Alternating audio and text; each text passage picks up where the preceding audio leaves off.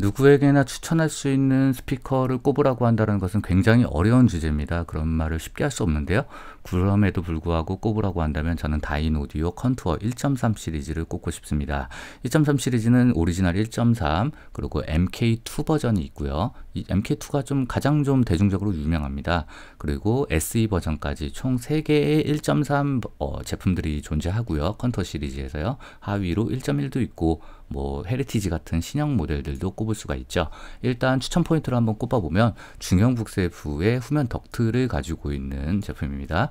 어, all-rounder의 저는 개인적으로 대표 주자라고 생각해요. 크기가 어, 전형적인 약간 큰 편에 속하는 중간 크기이지만 어, 크기 대비 큰 스케일을 소화할 수가 있고요. 저역의 양감이 좀 있는 편입니다. 그럼에도 불구하고 전반적으로 괜찮은 밸런스와 focusing 능력까지 어느 정도 겸비를 하고 있다라고 생각합니다. 결국에 그렇기 때문에 클래식, 보컬, 팝, 재즈, 뭐 가요까지 어, 다양한 장르를 소화하는 데 있어서 가장 무난하게 아주 우수한 스피커다라고 생각이 듭니다. 매칭에 있어서는 저역의 처리가 결국엔 관건이에요. 그래서 책상용이나 이런 데서는 조금 애로사항이 있을 수 있는데 스탠드 처리나 이런 것들 했을 때에는 단단한 저역을 끌고 가려면 결국에 중상급 이상 불리형 앰프를 저는 권장드리고 싶고요.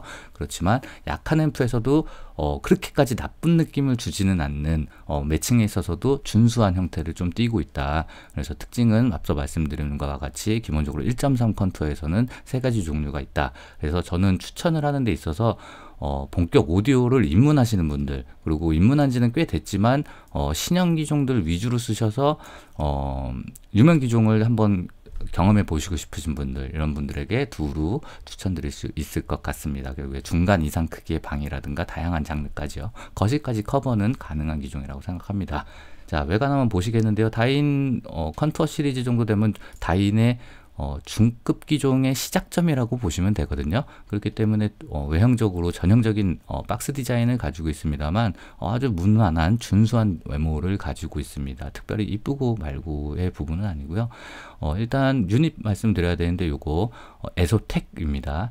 어, D28 레벨의 전후 모델들이 사용이 됩니다. 어, 에소타가 아, 에소타라고 지금 설명을 하는 그런 어, 상세 페이지나 리뷰가 일부 있어요. 그렇기 때문에 요 트위터가 에소타라고 생각하시는 분들 계신데 에소텍입니다. 하지만 에소타가 당연히 더 우수한 트위터입니다. 그렇지만 에소텍도 저는 상당히 좋은 트위터다라고 생각을 합니다. 어, 자석 유체를 통해서 어, 냉각기라든가 이런 부분까지 간, 관여를 해주고 있고 중역대까지 어느 정도 커버를 잘 해주는 거고요. 어, 약 6.5인치 정도 대략 되는 어, MSP라는 어, 복합 폴리 계열의 콘을 사용하는 우퍼입니다.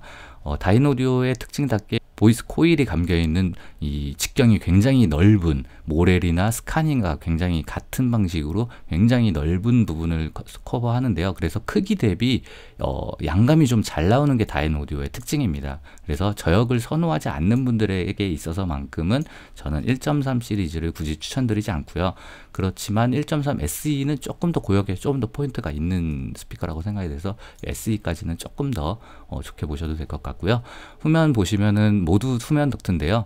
1.4 MK2 같은 경우는 단자가 WBT가 들어가고요. 1.3 모델 같은 경우는 다인 전용 포스트와 바나나 단자가 적용이 됩니다. 둘 다 후면 포트입니다. MK2가 가장 유명하고 가장 인기가 높다라고 볼 수 있거든요. 근데 1.3과 1.3 MK2의 차이점이라고 보면은 일단 기본적으로 두 스피커는 완벽한 동급의 스피커입니다. 모델명에서도 느낄 수 있어요. 완전히 다인에서 동급의 제품으로 만들어진 것이고 제가 보기에는 우퍼 유닛이 미세하게 변경된 것 그리고 어, 네트워크에서 약간의 차이를 나타내는 것. 이 두 가지 말고는 사실상 그냥 똑같은 기종이라고 보시면 되고요. 아주 미세하게 보신다라고 하면 어느 정도의 성향 차이는 나타납니다. 저도 나란히 1.3과 1.3 MK2를 비교한 것은 아니기 때문에 정확한 표현을 하, 말씀드릴 수는 없어요. 하지만 굳이 MK2만 선호한다던가 굳이 1.3만 선호하다던가 할 필요가 없다. 뭐 보편적으로는 1.3 MK2가 장터에서는 인기가 더 많지만 오디오를 좀 많이 하신 분들은 그냥 1.3을 더 선호하시는 경향이 있거든요. 어, 굳이 신경 쓸 필요가 없지 않은가라는 게 저의 생각이고 1.3 MK2는 제가 이제 과거에 리뷰한 적이 있습니다. 저희 채널 내에서 한번 1.3으로 검색하시면 나올 거고요.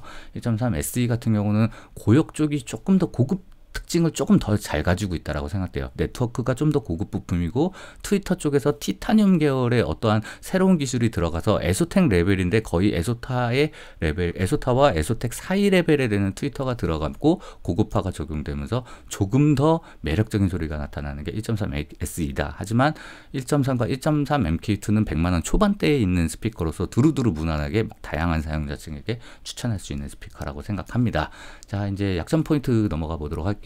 두루 무난하고 우수한 기종이기 때문에 뚜렷한 약점이 없으니까 추천을 드리기가 쉬운 겁니다. 하지만 반대로 고유의 강력한 매력이 어, 유명한 기종들 중에서는 좀 약한 편에 속하거든요. 이게 어쩔 수 없어요. 올라운더라는 게 세부적인 장르를 최정상급으로 소화한다는 것은 굉장히 어렵다고 그냥 해석하셔도 무방한 거거든요. 올라운더를 다 하면서 모든 세부적인 장, 장르를 최상위로 했다? 이거 초하인드 스피커들도 굉장히 쉽게 할 수 없는 그 정도의 영역입니다. 그래서 매, 어, 저에게 양감에 있어서 양감이 좀 있는 편이기 때문에 이것을 어떻게 느끼고 어떻게 다루는지가 또 수가적으로 관건이 될 것이고요. 작은 방이나 책상 세팅에서는 저는 해봤거든요. 약간 비추를 좀 드리고 싶어요. 거기서도 나쁘지 않습니다. 좋습니다. 하지만 약간 저역이 불편하게 만들 수 있기 때문에 스탠드 세팅 추천드리고요. 1.3 시리즈 차임을 위해서 앞서 말씀을 드렸고요. 마감 괜찮습니다. 디자인 호불호가 있을 것 같고요. 특이점은 한때 최고 인기입니다. 인기였어요. 정말 장터에 나오면 순간적으로 사라졌던 기종인데 요즘에 매물도 적고 인기가 좀 낮아지다가 다시 올라간 느낌인데 워낙 유명한 기종이라 써보실 만한 분들은 좀 이제 다 써보신 기종이라고 생각이 들어요. 그렇기 때문에 아직까지 들어보지 않았던 분들에게 어, 특히 입문하시는 분들에게 어, 사양 같은 거 많이 보시고 신형 좋다라고 생각하시는 분들 그런데 200만 원 전후의 제품들 많이 쓰셨 분들 쓰셨던 분들에게 추천드리고 싶습니다. 비추층은 결국에는 단정하거나 깔끔한 저역 선호하시는 분들, 음악적 뉘앙스가 아주 강력한 어, 매력을 가진 기종들 선호하시는 분들에 비추하고요. near-field 책상 조금 것 비추합니다. 자, 오디오 오디오 주관 평가입니다. 어, 나름대로 저 혼자만 판단하는 것은 아니지만 재미로 좀 봐주셨으면 좋겠고요. 어, 저의 판단 중형 bookshelf A 플러스라고 생각합니다. S까지 주기에는 세부적으로 좀 아쉬움이 있었고 어, 그렇게 또 A라고 말하기에는 두루두루 굉장히 좋은 스피커라고 생각했기 때문에 드물게 A 플러스라는 부분을 곁들여서 담아내었습니다. 자. 어, 어떻게 느끼셨는지 모르겠는데 제가 녹음 영상 밑에 첨부했거든요. 녹음 영상은 1.3으로 녹음을 했고요. 약간 넓은 곳에서 녹음한 점이라는 걸 참고해 주시면 좋겠습니다. 다음에 또 다른 리뷰로 인사드리겠습니다.